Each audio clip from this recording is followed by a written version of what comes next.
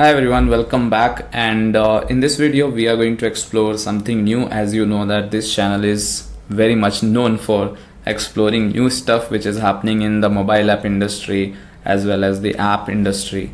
So today we are going to explore two things, not one. We will be exploring project IDX which is now in beta um, and uh, I was just waiting for the right time to make content on IDX because I think it's a very promising IDE which is on cloud.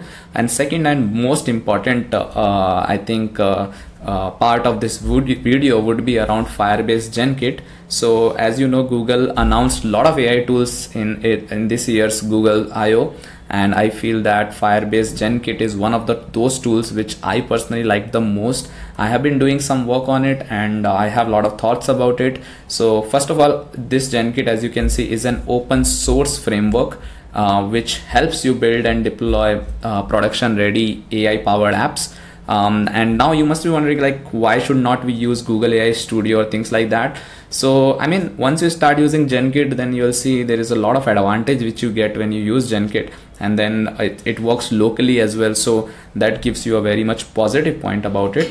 But then having said that i would say that okay let's not waste our time but let's jump into it and let's see that uh, how things work. So uh, let's explore project idx along with genkit so um, first thing is that you have to sign in with your google account to explore project idx anyone can do it now.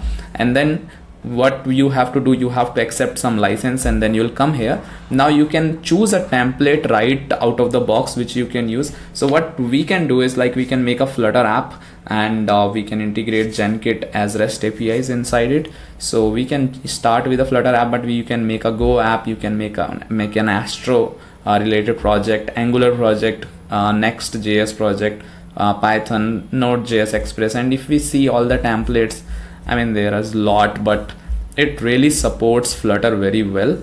That's one of the things. And it is also coming with this Android Studio thing. So once I'll have access to this I will explore that as well. So for now let's start with the Flutter app. Let's see how we can get start with Flutter as well as GenKit. Uh, so let's give it a name. Let's say GenKit Flutter app. So we have to set up a new workspace and then you will click, uh, click on this create button.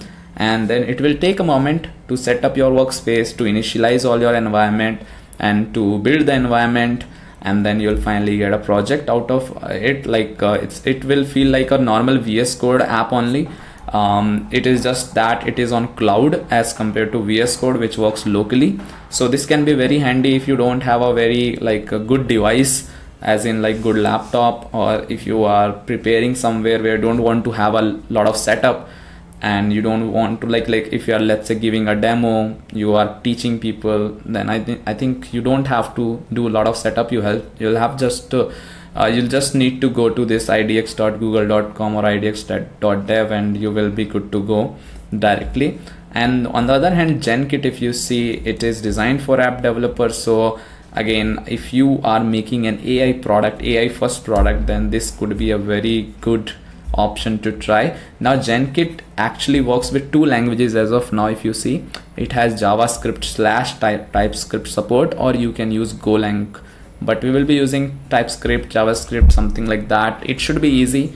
It's not very difficult initially. Uh, let's refresh it for a bit so that we can just make sure that our workspace is set up and this can take some time as i mentioned earlier as well. Now uh, once you are done with that you can see I have this app if let me just zoom a little bit. And you can see we have the similar kind of folders which we have in a normal flutter application. And then we also see these uh, VS code specific things here. Like you know this is how the VS code looks like. And you can see because we chose a flutter app we have the dart and flutter plugin already installed. And then we have this um, testing project idx from where we can directly host our app to firebase if you can see and deploy to cloud run. We can add gemini api add google maps platform and add secret manager so a lot of good things here. And we can also see the backend ports which are being used so this is pretty cool. This looks pretty like dope. And uh, let's see if we have a demo running of this particular counter app. So now you can see we have two previews right on the right side. One is this web preview. One is this android preview. And both of it will display what is happening around here. Let me just zoom it a little bit more so that you can have a better uh, result here along with that you can see we have this uh, lighthouse thing to check the performance. We have a share preview link and we can also open a new window. Everything else remains similar to normal VS Code. There is nothing much and we can now finally see the Flutter demo homepage.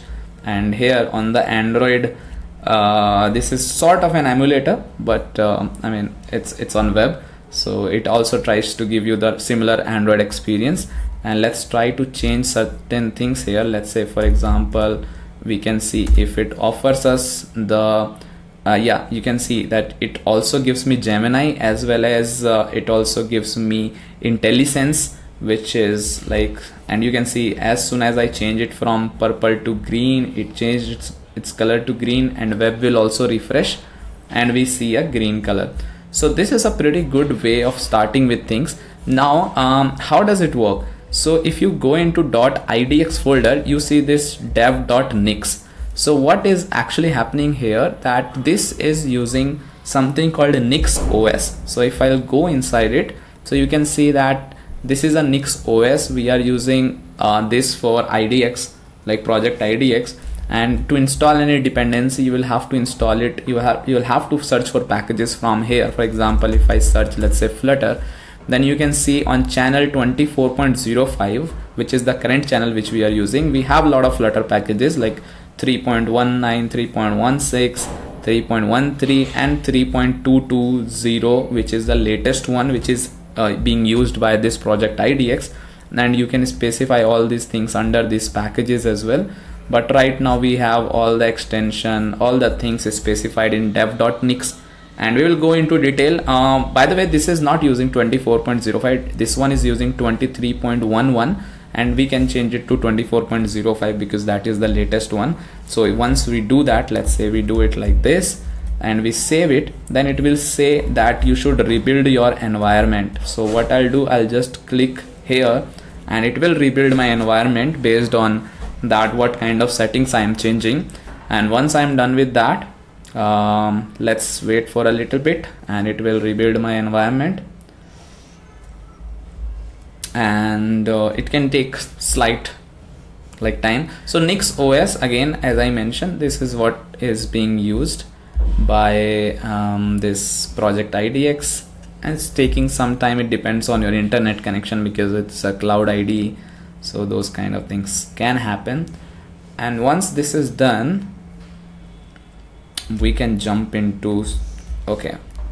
I, I, it was just about to complete and I pressed the refresh button so it will take slight moment. Okay now we have c 24.05 as the environment and things will work like that okay. We can also access terminal and anything like that inside this as well. Let's go like this. Open terminal with the same shortcuts what we use on uh, VS Code. And let's say if I run flutter doctor over here then you can see that okay this looks nice. And we can see android toolchain license are not accepted. So we can accept those licenses also if we want.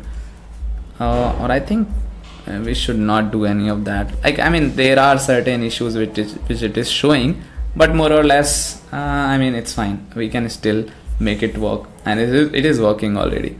So now how we can start with genkit inside this.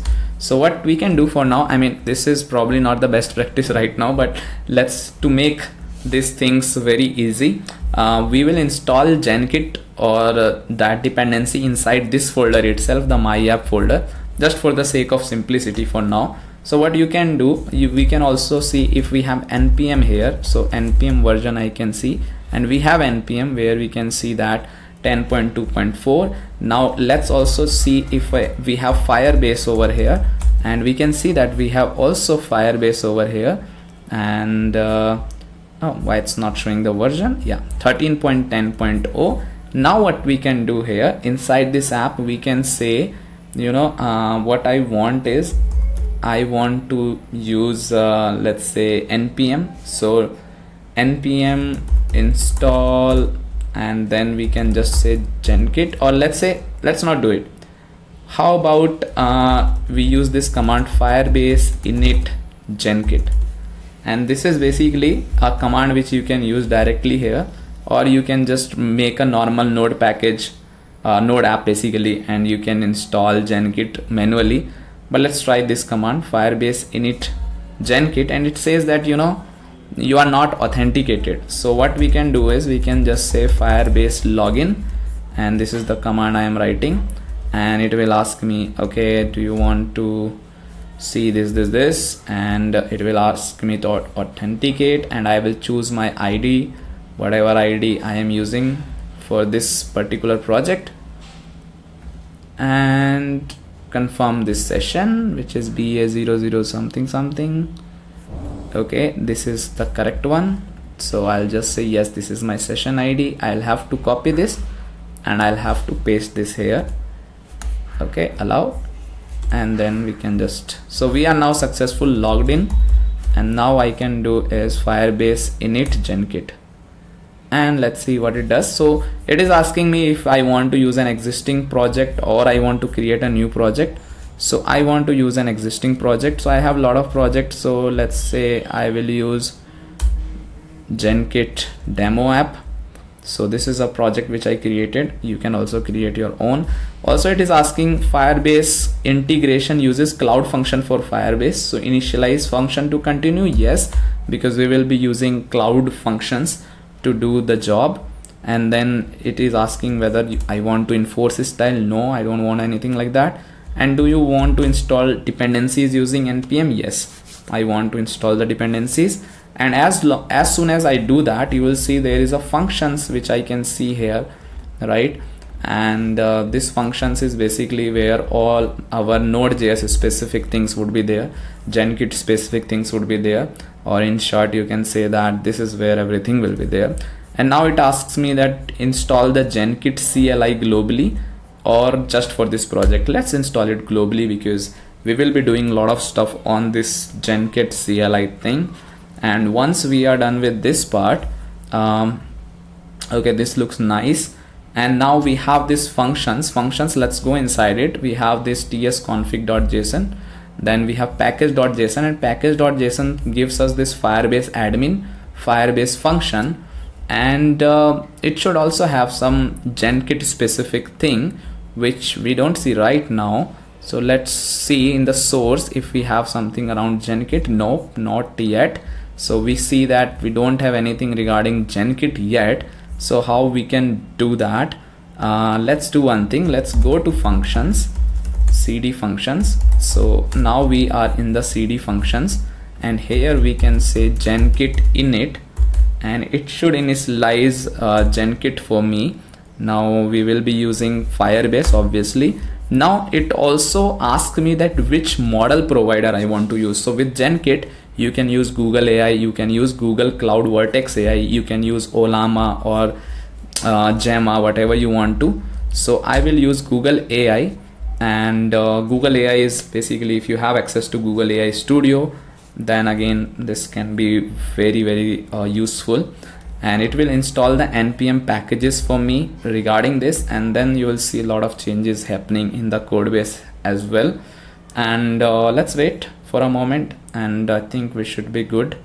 In some time it is installing npm packages. So if you see the experience right now we it, it is just a normal um, VS Code experience so far. And I'm using the browser right now. I'm using Chrome there is nothing else I'm using and this is working pretty good for me. And uh, yeah now it is done. Would you like to set your ts config with the suggested settings? Uh, yeah set if unset. And again I'll say the same thing. Would you like to generate a sample flow? I will say yes I want to generate a sample flow and it is giving me a warning that Google AI is currently available in limited regions. So right now I'm making this video in India and Google uh, AI is available in India. If you are watching from some other country or uh, some some place where Gemini Google AI is not available, so you can use Vertex AI or you can use something else. And now we have this thing ready over here and now if you see if I go to package.json I will see this genkit AI core dot prompt firebase flow google AI all the available or required things along with express so that if you want to have it as your own server you can do that as well. We will go into that as well right now. Uh, let's go to index.ts and here I see something called Zod so Zod is a schema which we will be using for input and output um, this is what we will explore. Here we see Gemini 15 flash from Google AI which we can use again. Uh, now it says that configure genkit where you can specify the plugins which you are about to use. For example firebase google ai we can also use dot prompt and all things like that. And we have a basic flow which we call menu suggestion flow which is having some policies and things like that and then it is using generate function and using Gemini 15 flash model or not 15 it's 1.5 um, so my bad. And then it will set some configuration like the temperature and all and it will return the response. Okay how we can test it? How we can get a taste like taste of genkit? So inside this functions folder you can write this command genkit space start. So it will start the server for me for the genkit server but it will not work. I will tell you why. So if you see here it is doing something something and let's say that i trust this. Okay. So it is asking me to select a google cloud project. So from here um, generative language client let's use this project. And uh, basically what it will say it will say that you know you haven't specified the google gen ap google api key or gen ai api key. So basically what we are using we are using google ai right for um, ai specific things. So we have to get a key. So you can get it manually. Like if you want you can go to google ai studio. So let's search google ai studio and uh, let's go inside it and uh, let's generate a key if it is not there.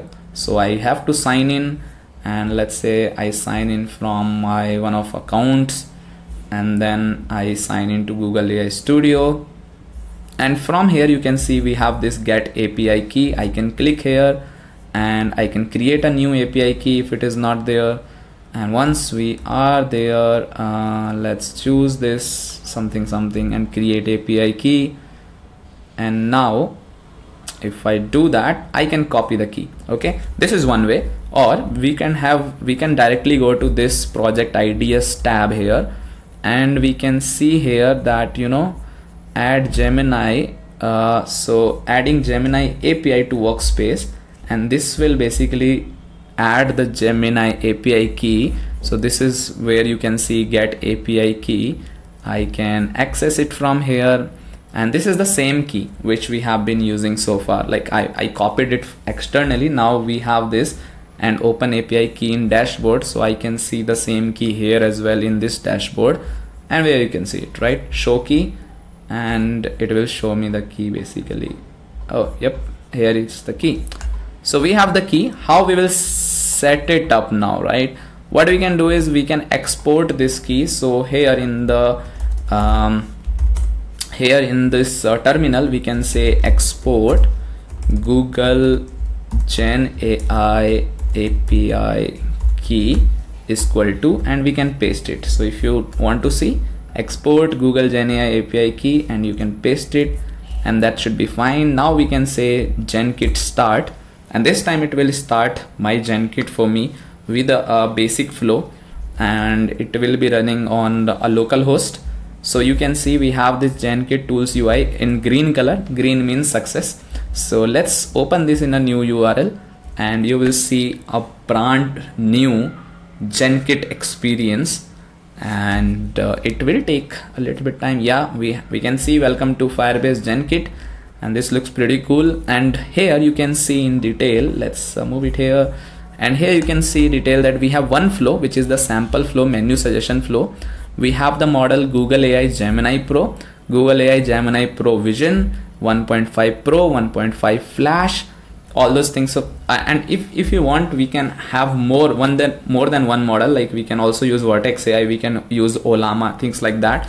We don't have any tool retriever indexer embedders, which again we will go and we will see how we can have tools retrievers and things like that but for now let's use this menu suggestion flow here we can have some input let's say I want to get some suggestion around pizza so I can write pizza here and we don't have an auth json so let's uh, specify a empty one and then let's run it. So it will use my API key it will go and check and it will give me the response back and you can see the pizza Leo's pick and it gives me a description some example of topping presentation and benefits. So what exactly happened? What it did?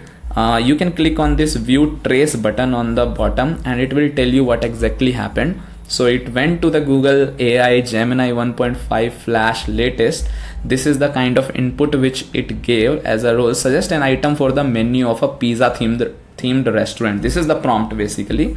And then uh, it gave this output. And uh, basically everything whatever happened how much duration it took you know start time end time and uh, and uh, span id trace id all these things you can find here and uh, this is this is how it looks like. You can also use it to open in model runner so this is a very cool thing to trace everything what exactly happen if you run multiple models everything will happen in a single place. And and this is pretty cool i would say. And um, okay. Now let's go back to our code which again we can go here and see what we did. So here you can see we had this input as a subject and we said that suggest an item for the menu of subject themed restaurant and in the subject we passed pizza and also you can see in the CLI also we got this response and everything was displayed here so I think this is pretty good way to start with GenKit I hope you loved this tutorial. We got we got an idea that how to get started with GenKit, how to start with Project IDX. We created our first Flutter app also. We ran it as well. And uh, let me know if you are interested in more of it. We will be uh, like creating this series to do a lot of things together. So how much excited you are, you have to just tell me in the comment of uh, this video. And also don't press, uh, don't forget to press the subscribe button because if you are not subscriber you won't uh, get my future updates and if you subscribe if you like the video if you comment down then that means that you want more video on this subject so let me know and i'll see you in the next one. Bye bye take care